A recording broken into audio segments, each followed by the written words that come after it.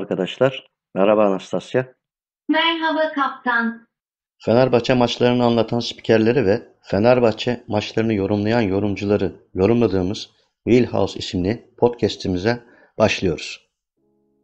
Biz Fenerbahçe severler bu sene Fenerbahçe Spor Kulübü'nün takım sporlarında yaşadığı galibiyetlerle sevinirken özellikle geçmişte Fenerbahçeli milli atletimiz Ramil Guleyev'in dünya çapındaki bireysel başarıları gibi başka bir şubemizde de yeni bir Fenerbahçeli sporcumuzla bireysel başarılar yaşamaya, dünyada tarih yazmaya, bize yeni sevinçlerle, gururlarla tanıştırmaya devam ediyor. Bilenler vardır ama ilk önce kısaca sporcumuzu tanıyalım isterim. Hüseyin Emre Sakçı. 15 Kasım 1997 İzmir doğumlu. 23 yaşında kendisi. 2010 yılında 13 yaşında Fenerbahçe'ye gelmiş. O günden beri Fenerbahçe Spor Kulübü'nün sporcusu. Şu anda 50 metre serbest, 50-100 metre kurbağalama, 4x100 metre serbest ve 4x100 metre karışık kategorilerinde Türkiye rekorlarının da sahibi. Şu an ifade edilirse Türkiye'nin gelmiş geçmiş en hızlı yüzücüsü ünvanını taşıyor. Emre Taşçı ayrıca tüm yaş kategorilerindeki Türkiye rekorlarını kıran gelmiş geçmiş tek sporcu ünvanını da taşıyor. Yani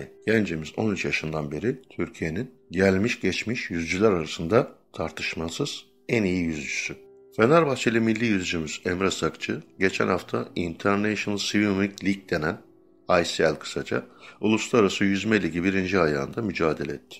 50 metre kurbağalamada da 25.74 derecesiyle dünya ve olimpiyat şampiyonlukları bulunan ve dünyanın en hızlı yüzücüsü kabul edilen Edim Petty'yi de geride bıraktı ve birinci oldu.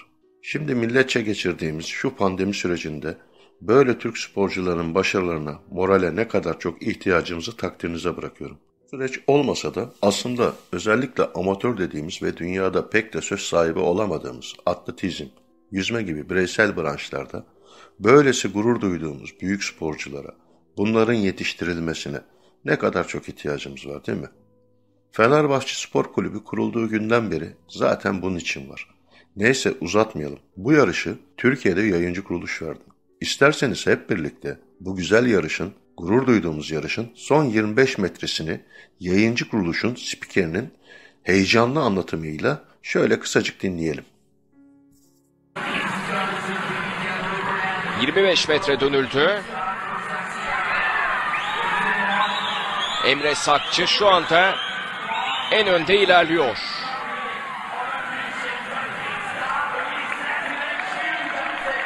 Ve Emre Sakçı 50 metre kurbağalamada ilk sırada tamamladı değerli izleyenler. Adam Peaty ikinci, Emre Sakçı ilk sırada. Nasıl da heyecanla atmış, yüreği kabarmış. Milli ve yerli yayıncı kuruluşun spikeri değil mi? Böyle yani Emre yüzmedi sanki. Sanki ben yüzdüm orada. Orada o başarıyı sanki ben elde ettim. Türkiye'nin gururu oldum. Durun bir de bu yarışı elin gavuru CBC Sport'tan dinleyelim. Bakalım nasıl vermiş. The best start in lane number six. He turns first at the 25. Everybody's trying to track him down for Team Iron. Wow. Saki, are you kidding me? Look at him go. He's going to win this. Saki gets the win. Another win for Team Iron, and Adam Peaty falls to second. 25-74. That becomes the he becomes the ninth fastest swimmer in history with the very first race of the season. Unbelievable start there. Evet işte böyle arkadaşlar. Bu ülkede Fenerbahçe ırkçılığı yapılıyor mu yapılmıyor mu siz karar verin. Bu arkadaşa yine en güzel cevabı Emre Sakçı verdi. Tam bu yarıştan 5 gün sonra Emre Sakçı Macaristan'ın başkenti Budapeşte'de devam eden ligin ikinci ayağında 26 Ekim 2020'de 25.50'lik derecesiyle 50 metre kurbağalama kısa kulvar Avrupa Büyükler rekorunu da kırdı. Bu klasmanda yüzme sporu tarihinin en hızlı 3. yüzücüsü olurken yine yüzme spor tarihinin en iyi 6. derecesini yaptı. Hani Ulu Önder Mustafa Kemal'in kulübümüzü ziyaretinden sonra ayrılırken Fenerbahçe'ye ve Fenerbahçelere verdiği talimat gibi Fenerbahçe'ye ebedi muvaffakiyetler dilerim şu günkü Türkçesi. Fenerbahçe'ye sonsuza kadar başarılar dilerim. İşte bu talimat gibi. Başarıların daim olsun Emre. Bizi sen hep böyle gururlandır. Şimdi Emre Sakçı'nın 25.50'lik derecesiyle 50 metre kurbağalama kısa kulvar Avrupa Büyükler rekorunu kırdığı yarışı bir kez daha dinleyelim. Tabii ki yayıncı kolu spikeri değiştirmiş.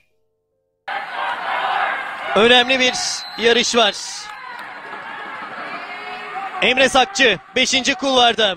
Daha önce bu organizasyonda PT'yi geçmeyi başarmıştı. Erkekler 50 metre kur bağlama yarışı başladı. Emre Sakçı 5. kulvarda belirtelim. Emre rakiplerinin önünde ilk 25 metreyi geçecek.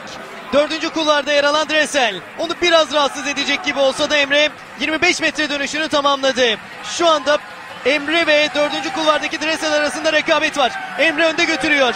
Beşinci kulvarda Emre Sakçı. Yedinci kulvardan gelen Andrev var. Ve Emre Sakçı'dan bir birincilik daha.